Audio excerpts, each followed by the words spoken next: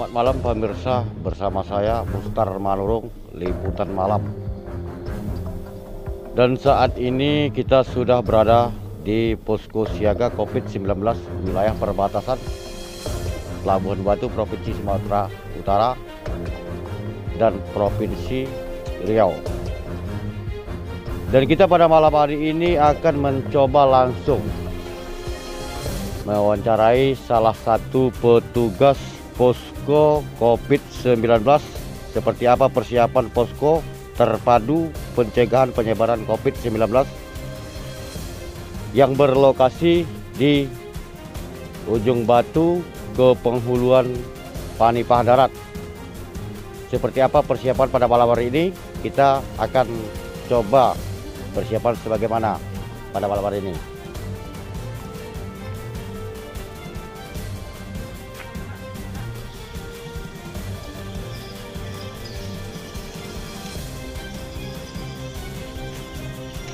Malam Pak. Malam.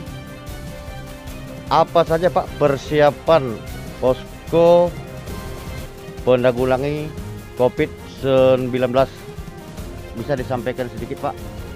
Ya, terima kasih mengucapkan.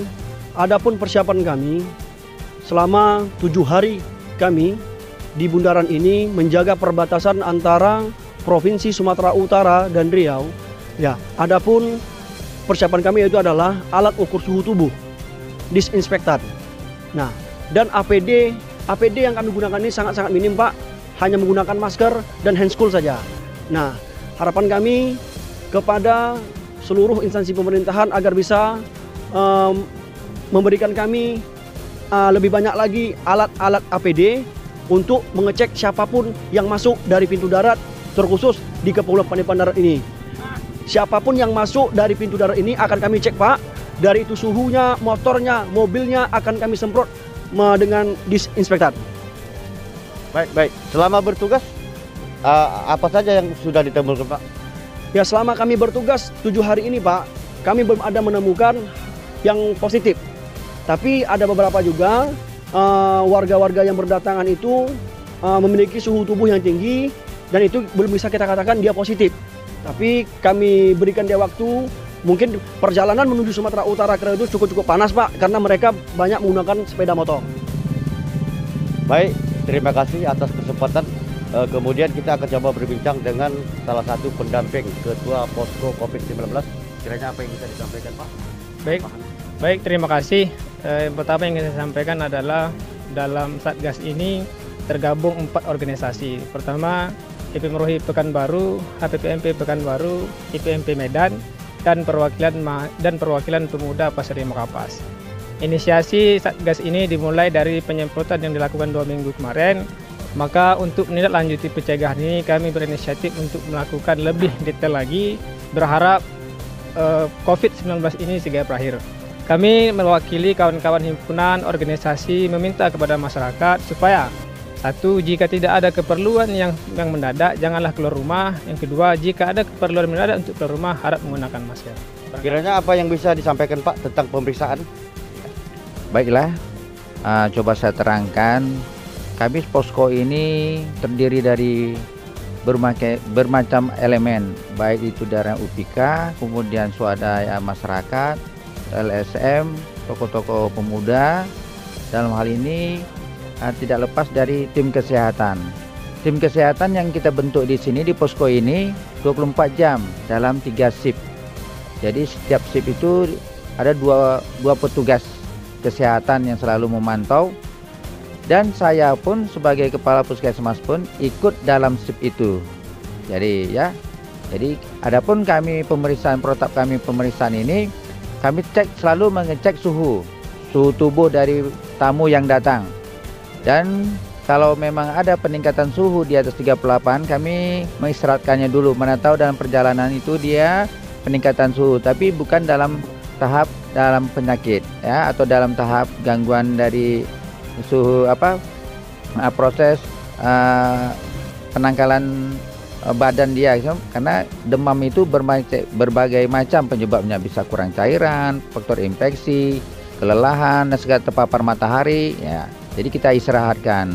Kan kalau memang tidak sudah istirahat beberapa menit, tidak juga turun suhu, suhu tubuhnya turun, kami akan lanjutkan ke Puskesmas Bundaran.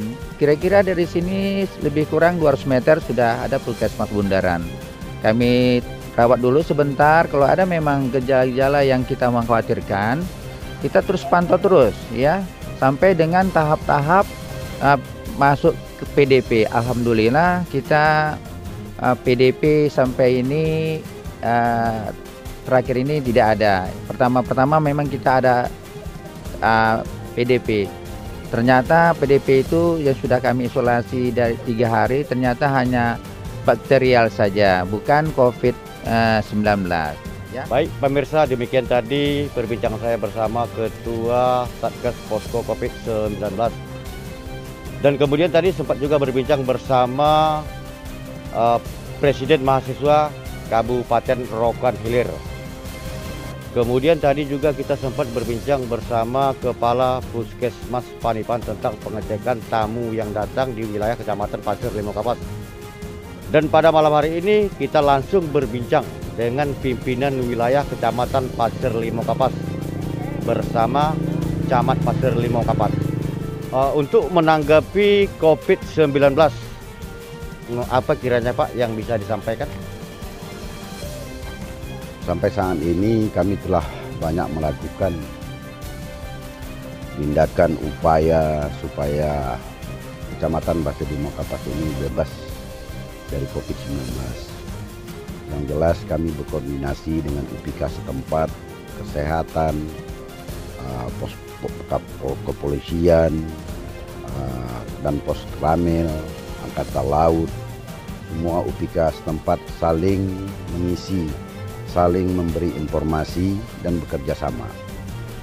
RT, RW, kepala dusun, tokoh masyarakat, mahasiswa, semua dilibatkan serta masyarakat ikut memantau siapa yang datang di Kecamatan Pasirino Kapas ini. Penjagaan di bundaran, baik di pelabuhan, sudah dijaga ketat, Alhamdulillah berjalan dengan lancar. Baik pemirsa demikian tadi perbincangan saya bersama Ketua Posko COVID-19 Kemudian tadi juga sempat berbincang bersama Presiden Mahasiswa Kabupaten Rokan Hilir. Juga tadi berbincang bersama Kepala Puskesmas Panipan dan terakhir tadi perbincangan saya bersama Camat Pasir Limo Kapas mudah-mudahan berbagai upaya telah dilakukan mereka. Uh, ya mudah-mudahan secepatnya uh, virus corona COVID-19 berakhir yang melanda di berbagai penjuru dunia termasuk Indonesia dan juga di Kecamatan Pasir Lima Kapas situasi saat ini aman terkendali. Demikian dilaporkan dari Panipahan Kecamatan Pasir Lima Kapas, Kabupaten Roka Hilir Riau, no va a.